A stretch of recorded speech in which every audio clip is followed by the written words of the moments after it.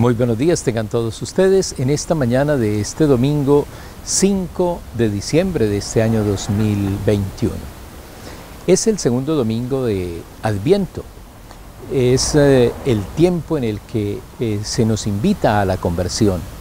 Hoy el personaje principal del Evangelio es Juan el Bautista, que mm, predica, conviértanse que el reino de Dios está cerca.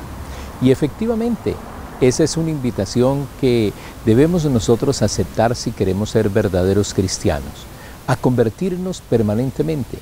No hay una conversión definitiva, no es que uno diga me volví a Dios y ya no volví a pecar, no, es una conversión que se debe hacer de todos los días, de todos los momentos de nuestra vida, de ratificarle al Señor que queremos nosotros seguirlo.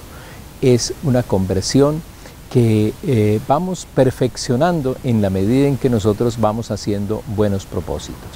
Por eso aprovechemos esta palabra de Dios en este domingo y sigamos la invitación de Juan el Bautista que nos invita a la conversión, a todas las personas, porque el reino de Dios está cerca.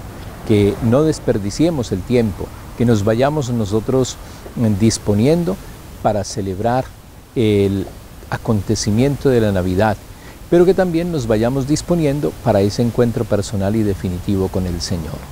Las luces, el pesebre y todos los eh, ambientes que nos ayudan nos deben servir precisamente para eso, para ese encuentro con el Señor, para esa conversión. Ojalá que aprovechemos todas las cosas para que a través de ellas podamos alcanzar la salvación. Un feliz y santo día para todos.